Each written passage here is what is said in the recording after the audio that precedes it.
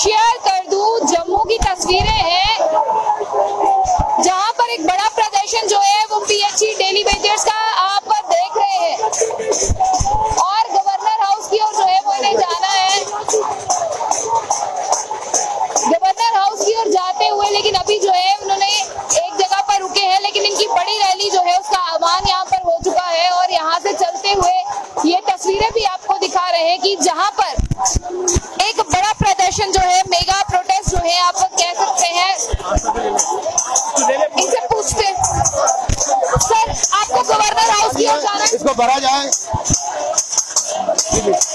Sir आपको क्या governor house की जाना है? हम गवर्नर हाउस की तरफ़ भी जा रहे हैं और अपना प्रोटेस्ट दर्ज कराने जा रहे हैं। ये थाली खाली है। आपको बैरिकेट आपको बैरिकेड लगा के रोक दिया आपको जाने नहीं दिया जाता तो क्या कहेंगे? देखेंगे क्या करती है पुलिस। गोली चलाए डंडे चलाए हम पीछे हटने वाले नहीं है।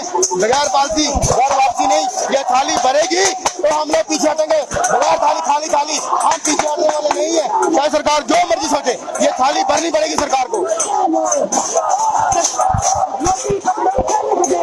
ये तस्वीरें आपको दिखा रहे हैं कि जहाँ पर थाली को पीटा जा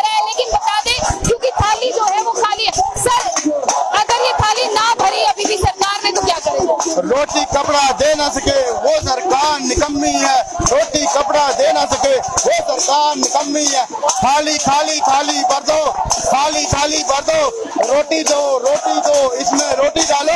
बगैर खाना हम कभी नहीं तो कभी नहीं। सर गवर्नर हाउस की ओर जाने वाले हैं, बट आपको जाने नहीं दिया जाता, वहाँ पर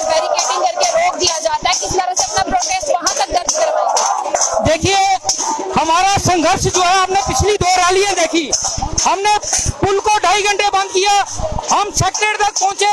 हमारी कोशिश जो है ये लगातार जारी रहेगी। चाहे सरकार ये सोचे कि हम कुछ नहीं कर सकते, लेकिन हमारा जो, हमने जो इरादा अपनाया है, जब तक हमारी ये थाली खाली रहेगी हम पीछे नहीं हटेंगे। थाली आपकी पिछले 25-26 सालों से खाली है।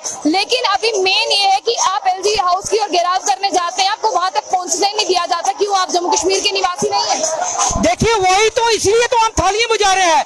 इन थालियों की जो गूंज है ना ये सेक्रेट और गवर्नर तक पहुंचेगी। उसके बाद जो सेंटर में नरेंद्र भाई मोदी जी बैठे हैं ये उन्होंने ही थाली बुझाई थी। ये उन्हीं का फार्मूला है। हम उन्हीं को याद दिलाना चाहते हैं कि अगर आप थालियाँ बुझा के कोरोना भगा सकते हैं तो यही थालियाँ बुझा के हम यहाँ की जो ब्यूरोक्रेट्स है यहाँ के जो गवर्नर साहब है जिन्होंने दो साल हमारे साथ पहले वायदा किया था और हमें हमारे बोला था कि आपको पक्का किया जाएगा लेकिन उनके वायदे झूठे हुए थाली, नरेंद्र भाई मोदी जी की थाली बजा के हम यहाँ के ब्यूरोक्रेट्स को भगाना चाहते हैं। अगर अगर वो हमारा ये थाली भर देते हैं तो हम उनकी जय जयकार करेंगे और आने वाली सरकार जो होगी सेंटर की होगी, अगर वो हमारी थाली खाली रखेंगे, हम यहाँ पे किसी को टिकने नहीं देंगे।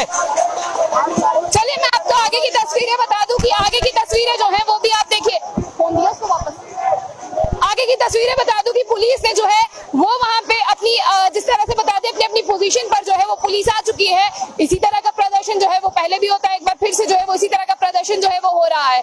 और ये तस्वीरें आपको बताती हुए कि जहाँ पर पीएचई डेली वेजर्स की अगर बात करते हैं, आज भी उनका जो है वो मेगा प्रोटेस्ट है और पुलिस किस तरह से उनको रोकती है, ये देखने वाली बात बनती है।